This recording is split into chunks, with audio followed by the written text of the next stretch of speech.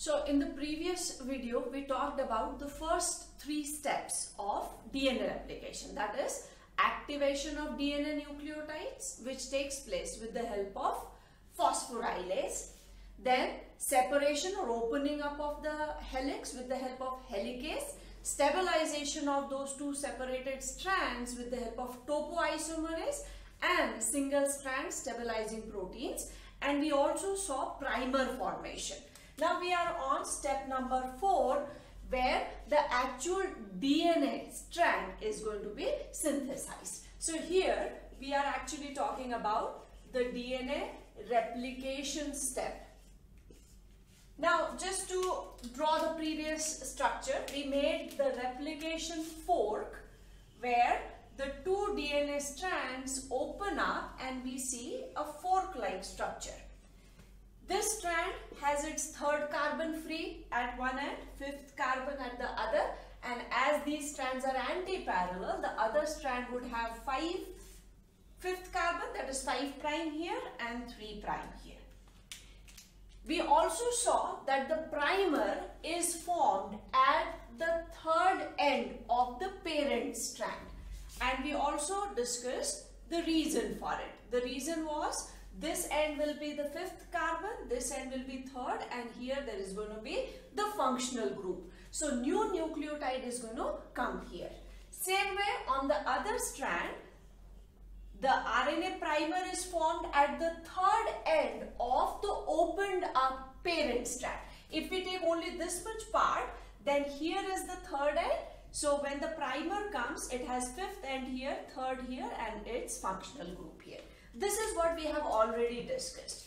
Now, on this opened up fork in front of the primer, with the help of DNA polymerase, the DNA nucleotides will get added up. Let us talk about this strand now. That is parent strand 3 prime 5 prime. So if we are talking of parent strand 3 prime 5 prime. What is happening here?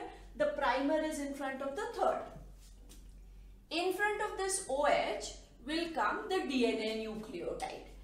DNA nucleotide will have its fifth carbon here. So there a phosphodiester bond will be formed. And here also the hydrogen bond which the complementary or the corresponding nitrogen base. The next nucleotide comes here, the next one here, the next one here. That means the strand is growing towards the third carbon.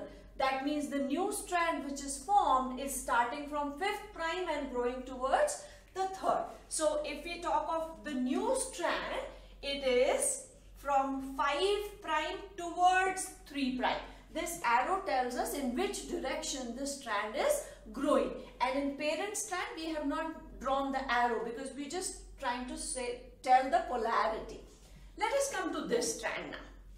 Here is the OH. So in front of OH is going to be the DNA nucleotide and it will make the same phosphodiester bond here. Again an OH is going to be free here. The next nucleotide comes here. The next one comes here. That means this strand, the new DNA strand is growing again from its fifth carbon towards its third carbon.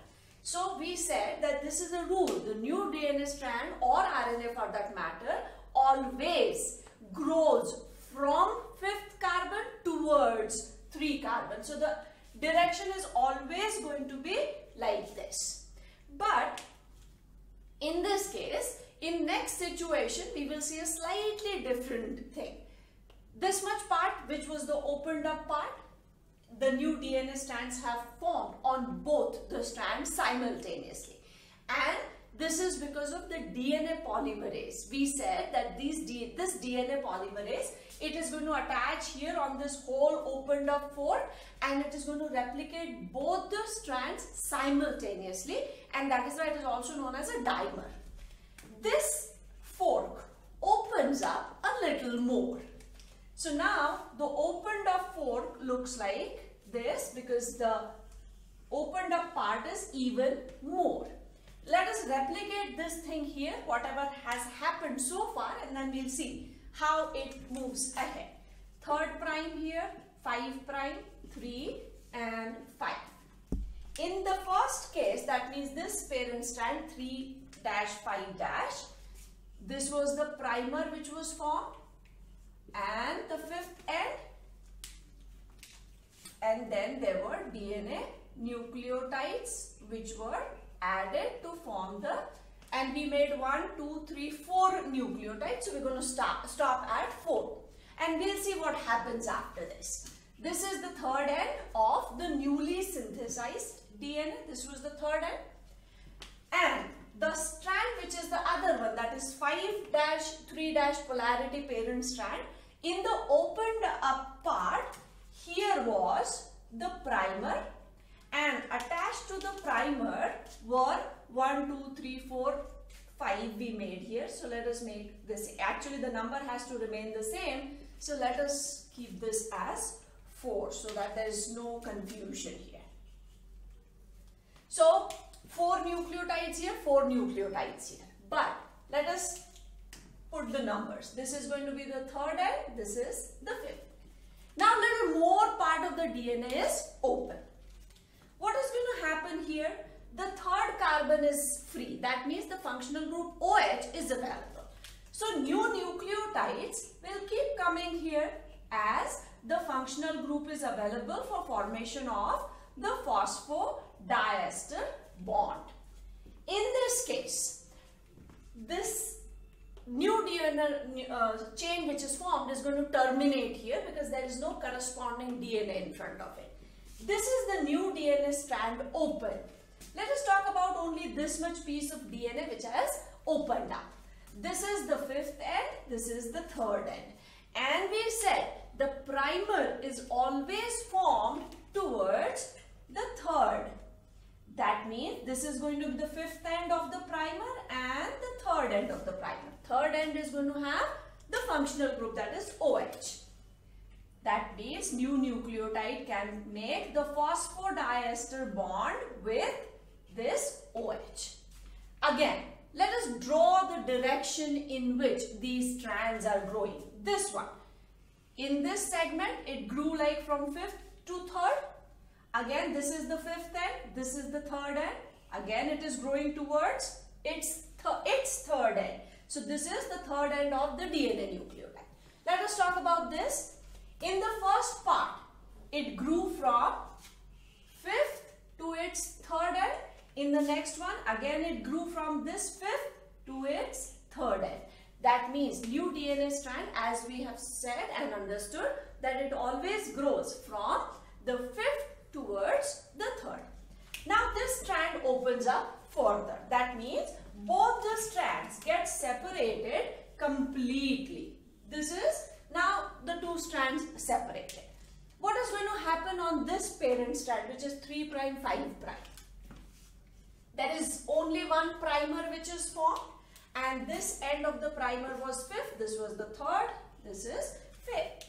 And as all the time the DNA nucleotide were coming on the third end, this strand keeps growing without any interruption and it will come to the end of this.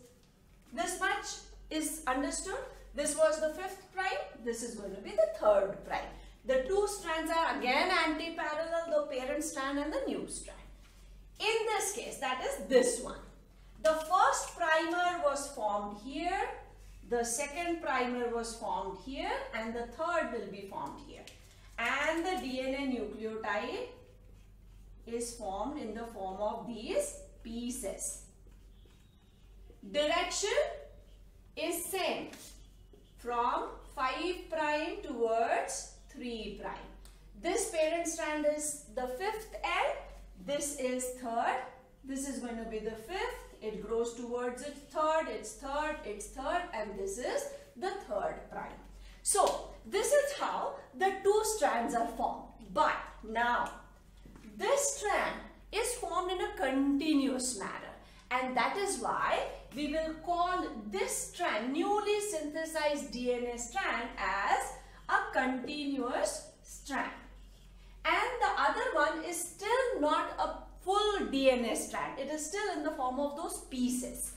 This piece of DNA is known as Okazaki fragment. And then these primers are to be removed. That is going to be our next step. So we'll let us write down step number 5 that is removal of the primer. The primer is going to be removed by DNA polymerase 1. It is going to remove these primers and replace those primers with the help of new DNA nucleotides. So now this strand is going to be formed first and then after removal of these primers, these gaps will be filled up by new DNA nucleotides. So, suppose if we replace these new DNA nucleotides, then how is it going to appear? Let us fill this gap. These are going to be DNA nucleotides. Primer, that is RNA nucleotides, are replaced by DNA nucleotides. So this strand will again be synthesized, but it will be formed later on. So the other strand, that means this strand, one, it is formed in a discontinuous manner.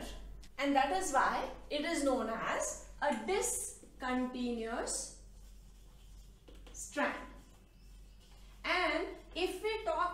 terms of which is going to be formed first, obviously this new strand will be formed first because it is developing or growing in a continuous manner.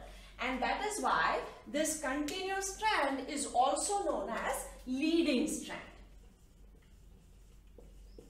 And as the other strand that is discontinuous strand will be formed little later as these Okazaki fragments will be sealed or the primer will be removed new DNA nucleotides will come with the help of ligase, then all these pieces will be connected. So the discontinuous strand will be formed later on. And that is why there is another term given for this uh, discontinuous strand is lagging strand. So one strand is leading, other strand is lagging strand. The questions which are invariably asked on these things are like on which parent strand will the leading strand be formed and on which parent strand will the lagging strand be formed. We'll take that in a minute. So removal of primer takes place and then with the help of DNA polymerase 1. It removes the primer, replaces it with the normal DNA nucleotides. The next step, sixth step is proofreading. If anything has gone wrong because of wrong nucleotides coming in its place or due to mutations like TT dimer formation, then there is proofreading. And followed by proofreading, there would be repair also. That means if a wrong nucleotide is identified, then it should be first read that this is wrong so that will be the proofreading part and then it has to be replaced by the correct nucleotide. This part is done by the epsilon unit of DNA polymerase 1 and nuclease. In the list of enzymes which we wrote in the beginning of this particular topic, we have written that DNA polymerase 1 has three subunits and the epsilon subunit is responsible for this proofreading part and again another enzyme that is nuclease. Now let us come back to this and understand which parent strand is responsible for formation of leading and lagging strand.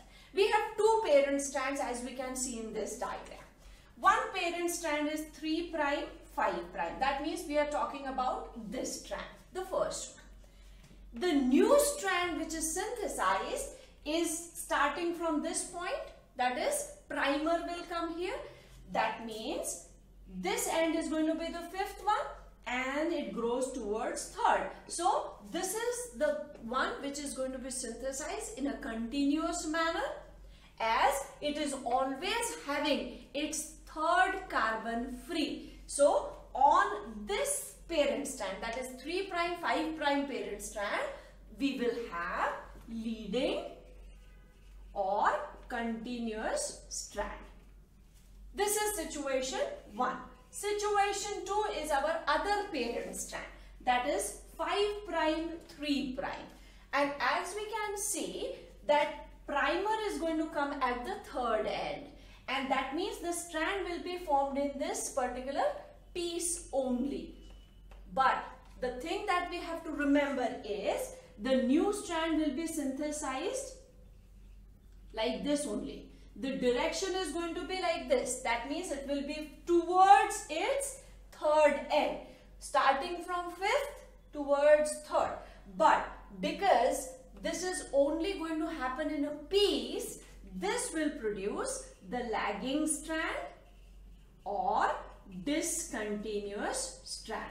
So on parent strand 3 dash 5 dash we will get leading strand and on parent strand 5 dash 3 dash we will get lagging strand. Direction in which the leading and the lagging strands are synthesized is same. It is always from 5 prime towards 3 prime. We can see here we have made the arrow in this direction. That means it is growing towards the third. Here also it is growing towards the third. The only difference is on this parent strand, the new DNA can be synthesized in a continuous manner.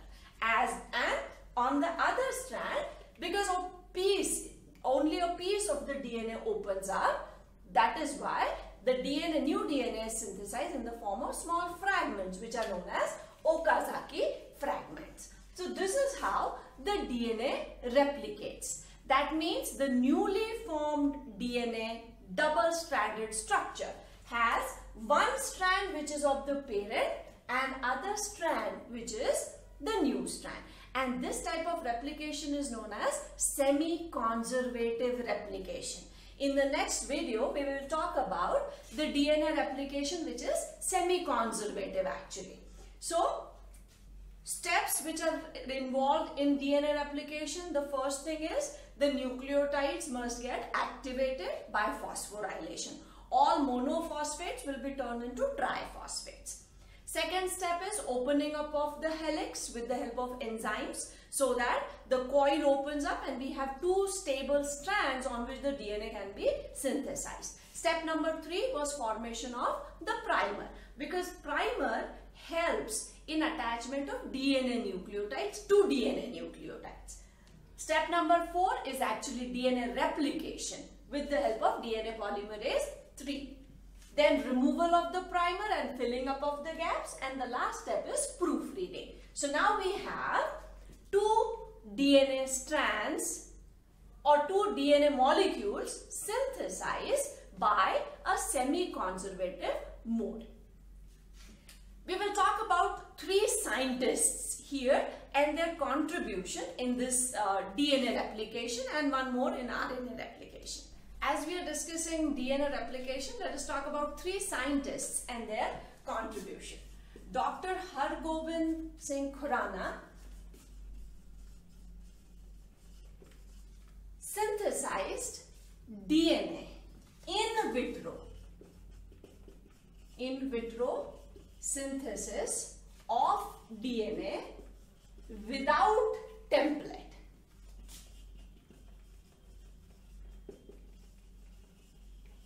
Template is that piece of DNA on which the new DNA can be synthesized. Another scientist, Kornberg, did the same thing that is in vitro synthesis but it was with template. So in vitro synthesis of DNA with template. And one more scientist who did or uh, the same experiment for RNA was Oka, Oka or Ocha, whatever uh, the pronunciation can be, in vitro synthesis of RNA. In synthesis of RNA. So, because we are talking of DNA replication, these three are again important. These two are associated with DNA replication and this is RNA. Dr. Khurana got Nobel Prize for this uh, uh, synthesis and he, it was without template.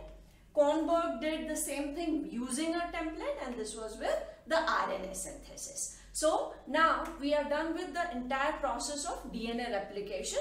In the next video, we'll talk about the semi-conservative mode of replication of DNA and the experiment which was done by Meselson and